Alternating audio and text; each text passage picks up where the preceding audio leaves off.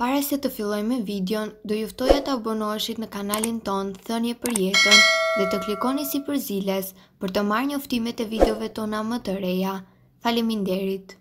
Mësojeni para se të jetë vonë. Ja deri në sa kafe në ditë mund të pini nëse vuani nga tensioni. Njerëzit që vuajnë nga tensioni i lartë i gjakut duhet të tregojnë kujdes me kafen, sepse ajo mund të rrisë rrezikun për atak të zemrës. Për të arritur në këtë konkluzion, një studim italian analizoi të dhënat e 1200 personave nga mosha 18 deri në 45 vjeç. Ekspertët përmblodhën dhe analizuan të dhënat mjekësore në një hark kohor prej 12 vitesh. Pjesëmarrësit e studimit kishin një tension sistolik të gjakut që varionte nga 40 deri në 159 dhe një tension diastolik që varionte nga 90 deri në 99. Gjetjet e studimit italian mbi lidhjen mes kafes, tensionit të lartë dhe atakut në zemër. Në harkun kohor të 12 viteve, ekspertët vunë re rreth 60 raste problematike shëndetësore me qarkullimin dhe zemrën.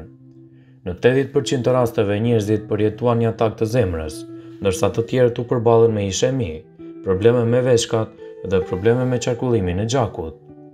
Sipas ekspertëve, njerëzit që pinë shumë kafe në ditë janë katër herë më të rrezikuar nga problemet e lartpërmendura.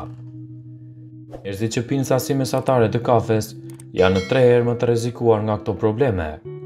Sasia mesatare e kafes i referohet 1 deri në 3 pije me kafeinë në ditë. Sasia ditore e lartë e kafeinës i referohet 3 ose më shumë filxhanë me kafe në ditë. Studimi kishte si subjekt të dhënat lidhur me prirjen e kafes, tensionit të lartë dhe atakut në zemër, por jo të zbulonte shkakun dhe pasojën. Ekspertët paralajmërojnë se njerëzit që kanë probleme me tensionin duhet të kufizojnë sasinë ditore të kafes dhe nënprodukteve të tij.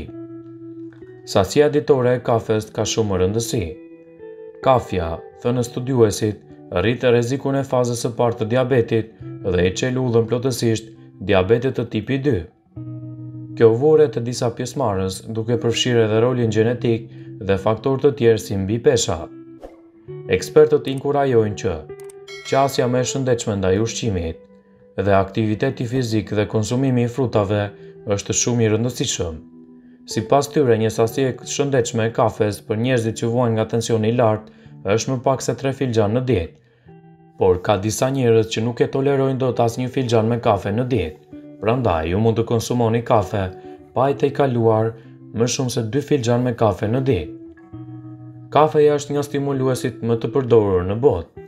Ajo i shpalos vlerat e saj 15 deri 20 minuta pasi futet në organizëm. Sipas të dhënave, efektet e saj zgjasin zakonisht 8 deri në 14 orë, në varësi të gjinisë, mbipeshës dhe moshës.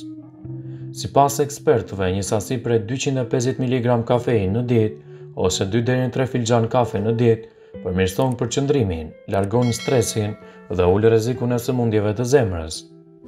Por kafeina ka një ndikim të fortë edhe në sistemin nervor qendror. Si ndikon kafeja në sistemin qendror nervor? Kafeina imiton një transmetues nervor që prodhohet gjatë ditës. Ajo vepron kundër pregatitjes së organizmit për të fjetur. Kafeina ndikon pikërisht në receptorët e trurit, edhe për pasojë njeriu është më energjik dhe aspak i përgjumur. Siç e thamë edhe më lart, kafeina është stimulues i fortë për përjetimin e mbidozës, e cila shoqërohet me simptoma të konfuzionit dhe halucinacione. Ekspertët, të cilëve u referohemi, thonë se një njeri që peshon 60 kilogram duhet të pijë maksimumi 2 filxhanë me kafe në ditë, Megjithatë duhet të tregoni kujdes me pijet energjike, që përmbajnë sasi të jashtëzakonshme të kafeinës. Një sasi normale konsumimi i kafeinës besohet të jetë deri në 400 mg në ditë.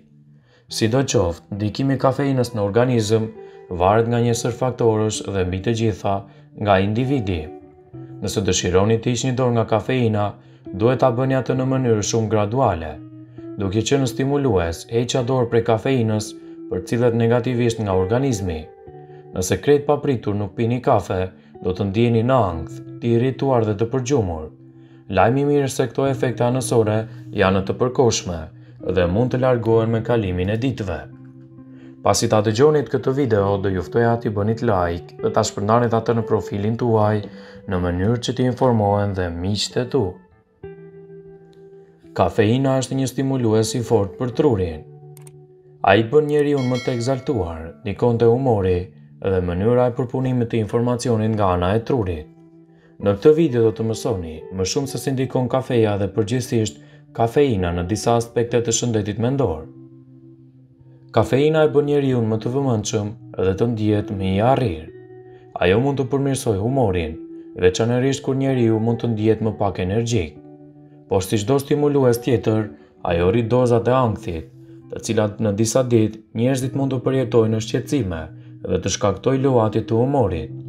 Rekomandohet jo më shumë se 3 kafe në ditë.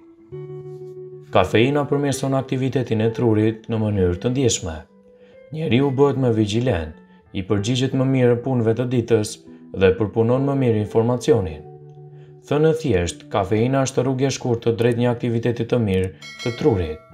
Megjithatë, studimet të cilave u referohemi thonë se përmirësimi i aktivitetit mendor nuk varet totalisht nga sasia e kafes së konsumuar në ditë.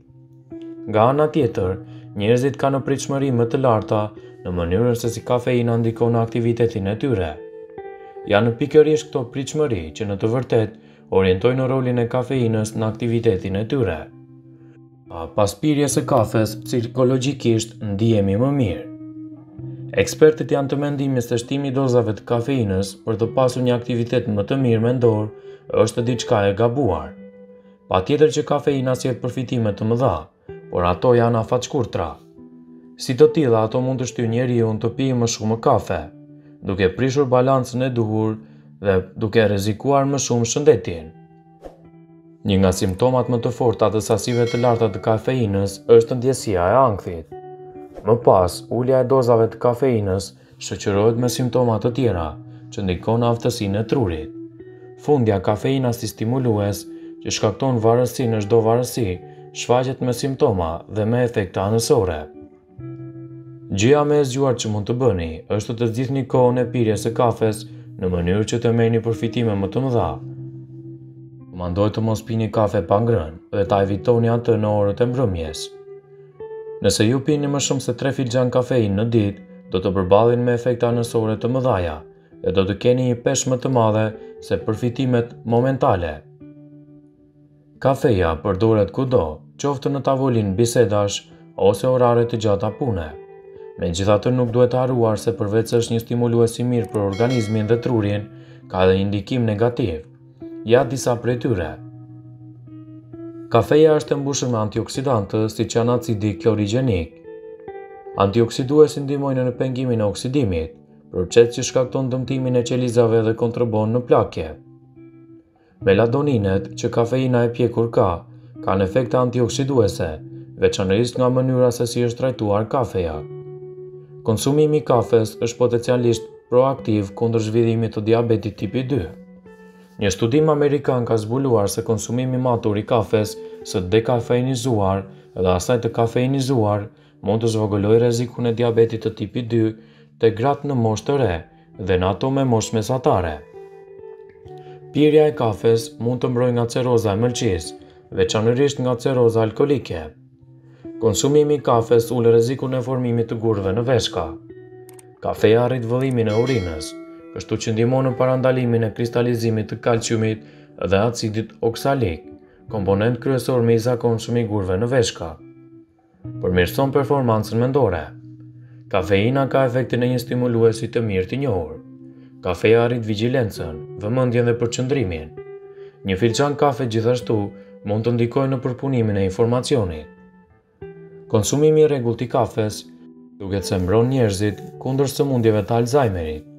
Një studim i fundit ka treguar se kafeina Kafeina në kafe është e lidhur me teofilën, një medikament i vjetër i astmës. Kafeina mund të hapë rrugët e ajrit dhe të përmirësojë simptomat e astmës. Lidhja mes konsumimit të kafes dhe rrezikut të sëmundjeve kardiovaskulare është ekzaminuar në shumë studime, por rezultatet mbesin kundërshtuese.